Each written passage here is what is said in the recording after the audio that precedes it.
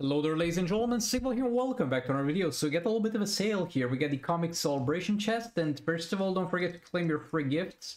I'm Gonna start with that, I think it's somewhere around here. Oh, there we go. And um, yeah, they, they are giving 50 legendary shards. I mean, uh, those two characters are garbage and those two are good and 50 is obviously not enough to unlock them but hey they previously gave 20 shards now they give 50 who knows maybe in a couple of years we're gonna get to a guaranteed three star legendary who knows? I mean it's free it's 400 gems still just just claim it and be be done with it. It's not the biggest deal but it's definitely a lot better than nothing and look at that we get some blue beetle shards on the secondary count that's not bad. It's 50 shards closer to getting Blue Beetle. And hey, if you were in theory gonna open chests to get Blue Beetle and it would be a shard chest, you would get in faster. Now let's take a look at the chests we got here. So first up we got Bloody Rain Duo. So uh, this one is gonna have Robin King and Arkham Knight Batman. Higher chances for Arkham Knight Batman. Okay, look, Arkham Knight Batman is not a bad character, but at the same time, it's not a mandatory character. He can be used with Batman, the Drowning Soul Rates, but he literally does the same thing as John Stewart Green Lantern, which you can get from the League stores. And there's a 2% chance for Robin King, which is not a great chance. This wouldn't be really the chest you open to get Robin King, but at the same time, this is not a terrible chest. Like, imagine you're a new player, you get Arkham Knight Batman at 3 stars, which is a pretty damn good character for Arena and Champions Arena, and you get his gears from the achievements. That's not the worst thing, but let's keep looking. Uh, next up, we got the Hierarchy of Power duo. This one is gonna have higher chances for Collector and 2% uh, chance for Black Adam. Black Adam is good. Collector is great, but you have a challenge for him. So unless you're at the point where you have literally piles of gems to throw away to speed up the process of getting collector, I always say just take your time, farm the challenges, you're eventually gonna get there, and save up the gems for the characters that don't have challenges. But let's move on. Uh, wait until I get through all the chests and then I'll give my recommendation what would be the priority. But yeah, this one is a no-brainer. This is this is trash. Bro, 2% chance for Brainiac and then increased chance for Supergirl. Like, this is garbage. Brainiac's got the challenge. It's not even high chance for him in the first place. And Supergirl is fine. It's, it's pretty good, actually, with the multiverse team in Arena Champions Arena. But she's got an Arena season. Usually it's not that difficult because people are not trying crazy hard to get her. Uh, then we got the uh, Claws of Chaos duo. This is a 2% chance for Raven. Didn't this used to be a higher percent chance for the, the Raven, though? Maybe I'm tripping, but yeah, the rest is gonna be for Catwoman. Where's Catwoman? Doesn't really matter that much. Like, honestly, you do have to have Catwoman for, like, the... I, I can't even find her. I'm pretty sure it's a 6% or an 8% chance for Catwoman. But yeah, Catwoman is a character that you kind of have to have for Arena and uh, Champions Arena and League Invasions, but she's an Arena seasons. I'm sorry, the cat's screaming in the background. I promise I fed him. I played with him. I don't know what's up with him. Yeah, 8% chance for Catwoman. Again, not the worst chance, but you gotta understand that 2% chance for Raven is not the best thing. Bro, shut up. Chill. But yeah, 2% for Raven is not the best thing, and Catwoman... Yeah, I mean, you're not gonna have the gears, probably. So again, not terrible, not the worst thing could open, but not that great. Um, this is the World Domination Duo. Surprisingly enough, there's a pretty good reason to get this. I mean, again, Grodd does have a challenge, but you need League of Anarchy characters to have a challenge. But you might have a Lord Joker and a Robin in your account, and you can build Lord Joker as a damager with Puppet, and you might want to get Grodd or speed up the process of getting Grodd a bit. And 8% chance is not that bad for that. You could probably open this if you really want the 3-star Grodd, and it's it's not gonna be that bad. Um, next up let's see. There's the there's the celebration level up chest. What is this? I didn't even look at this.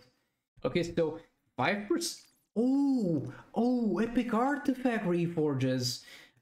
Um also this is interesting here because I mean, it's still it's it's still real bad in in another way because this is literally gambling. You're putting a sum of gems and you have a chance to get more gems than you put. I don't really like that, but there's a good amount of high tier XP capsules.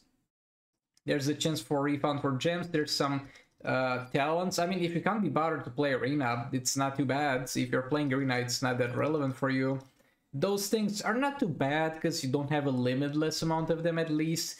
And this is, I think, the first time I have ever seen uh, the epic artifact reforges actually be put in a chest to an extent. But there's also some garbage in here, like this is garbage, this is garbage, and this is garbage because you get a lot of reforges, and a lot of the chance is eaten by the 10% chance that you get for uh, the XP capsules. And the XP capsules are not bad. Those are tier 7 XP capsules. You're gonna get 17 of them, but I don't know if it's worth 300 gems to get them. But at the same time look if you're at the point where you don't have many things you want to get from your account like if you're a new player pretend this just doesn't exist because i don't think it's gonna help you that much progress to the game. But if you're at the point where there's not that many things you can get with gems or that you want to get with gems hey there's never been artifact reforges the green ones at least in the chest. So this doesn't look like the worst chest for players that are already in the end game to, to an extent. Though now that we get class ascension bro that sucks so much because now that we get i mean class ascension doesn't suck in itself but the amount of shards that are demanded this is a chest that i would love to open but i don't feel like i'm at that point. I'd rather spend my gems for shards for mr freeze to class ascend him for blue beetle to class ascend him. This is a chest this is an amazing chest for people who got maxed out characters in terms of shards. That's all i'm gonna say about this. But it doesn't look like it's gonna help you out much if you're a new player or intermediate uh, and this one is interesting, I guess. It's gonna be a 206 uh, chance, uh, and uh, for every single legendary in the game, so it's gonna be a 6.5% chance total to get a legendary character. And you got the whole the whole squad here, also known as. Let me, let me give you a little bit of a rating on the legendaries here, real quick. We're gonna speed this up. This is fine. This is fine, I guess. This is amazing. This is good. This is fine, I guess. This is good. This is garbage. This is fine, but really not really needed at the start. I mean, could be pretty good for Reen, I guess. This is good. This is garbage. This is fine. This is garbage.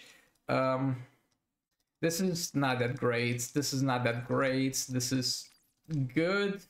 This is absolute garbage. This is pretty bad because you need a lot to get this thing going. This is amazing. This is great. Uh, this is fine. This is absolutely useless trash. Same as Orm. I know I use more words on Shazam. Like, I'm sorry, my dude, you're better than Orm at least. This is fine, I guess. This is fine, I guess. This is bad because she's got the challenge, and this is good. It's a very, very mixed bag. So you have the choice here between having a 6.5% chance of getting any of the legendaries, which you can get a good one or a bad one, or you can go to another chest that's here, which is the Robin King Arkham Knight Batman, which is a 7% chance to get something pretty decent overall. Like, Robin King is great, he's fine, I guess pretty decent is the, the, the middle ground we can reach here. Yeah, I, I don't like those chests that have all the legendary characters. Like, if all of them were good, that would be a different story, but they are not. They are not. There's some garbage in there. There's some huge amounts of garbage in there. Okay, so what do I recommend? This is this is a hard one though. This is a hard one. Again, this one, if you're maxed out on shards, it's literally gonna help out a lot with very end game progression. Unless you're at that point, don't waste your gems on this. Um, this is good if you want to grab a Grodd. If you want to grab a Grodd for some reason, maybe you don't have League of Arc to farm him, 8% chance is, is pretty good, and he does a lot of things. He can get power generation for Batman Ninja Team, power generation for legendary characters. He can add two negative effects, helping you out to enable Puppet a lot easier. If you don't have a Grodd, get yourself a Grodd. It's, it's a pretty good chance to get one. Um, this is I wouldn't really go for this. Like wait for the Beast Boy plus Raven chest because even when it's not on sale, it's it's better than this. Like I don't really like this that much anymore. On release, I think I was a bit more positive about this chest, but I don't really like it that much. This is awful. Stay away from this. Uh, this is nah, bro. Like my boy collector, I love him, but I want to spend gems on him, and 2% chance for Black Adam ain't gonna redeem this. And uh, the Robin King Arkham Knight Batman is fine, because, like, Arkham Knight Batman again is not a mandatory character, but you get the gears from the achievements at least, and does a lot of things for you in Arena Champions, Arena League Invasions. It's, it's gonna be pretty good to have around, I guess. So you can get yourself a Grodd, and you can try to get yourself an Arkham Knight Batman from here and maybe drop a Robin King if you're lucky. I mean, it's not the best sale in terms of the chess that we have here, but th there's two choices. There's two choices, and if none of them, uh, if none of them is for you, that's fine. Don't feel obligated to spend anything because there's gonna be. Oh no! Hold on, hold on, hold on, bro. Wait, wait, wait, wait, wait, wait, wait, wait. Let me let me scroll the way here because this looks weird. Oh, there's also a 10% chance to refound. And somebody got mad at me that I didn't mention previously. Okay, this is this is a bad drop actually. 10 Ethereum is bad for the gems spend. Um, this is not that great again with the universe orbs, you should be bothered by getting the shards to classing characters rather than getting the materials because you're gonna eventually get them just by playing the game. And this basically a 10% chance to get the refund means that the chest is basically 10% cheaper, which doesn't make it that much better in my book. Uh, again, this is not the worst chest in the game you could open, I guess. But yeah, let's take a look at the special offers now. Okay, so we uh, Got the usual stuff here. We got the orb. Nah, is this gamble bundles? What are they offering here? Okay, 80 shards is enough to unlock a character at least, as far as gold characters go. You're gonna be guaranteed, not, this is a 2-star gold character, you're gonna be guaranteed a 3-star gold character with a 20% chance to get Orm. I think all of them are gonna be the same, like obviously I don't recommend Orm 1 because he's the worst legendary in the game, but same is gonna be for Beast Boy don't gamble. Like, if you want to get this to get a little bit of a boost, I also like, hate this with a random chest to get a random gear for the character. I mean, again, it's very thin if it didn't exist. But yeah, if you want, if you're a new player and you want to get a little bit of a boost in the game, you can buy one of these and get some gold characters. But don't expect or don't buy them. I, I mean, it's only one stock, so you can't gamble until you get the character type of deal. Why is this only one stock though? Every single one does not have a stock count. Oh, this is bad. Usually they put the stock on all of them, but in theory now it allows you to endlessly gamble for all of them except for Beast Boy for some reason. But yeah, don't gamble, guys. Don't gamble. Uh, anything, anything else? No, not really. But yeah, I don't like those bundles. I don't think they're worth it. Uh, but yeah, we're loving set. Thanks so much for watching. Like them if you liked it, dislike if you disliked it, and I'll see you on the next one. Goodbye!